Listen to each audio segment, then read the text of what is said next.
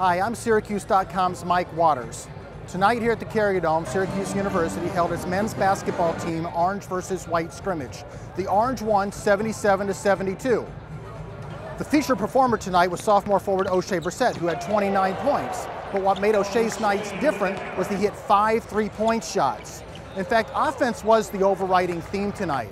Last year's scrimmage, both teams wound up in the 50s. Tonight, both teams were in the 70s, and that was without starting point guard Frank Howard playing, and freshman guard Jalen Carey only played half the game after he suffered a left ankle sprain halfway through the third quarter.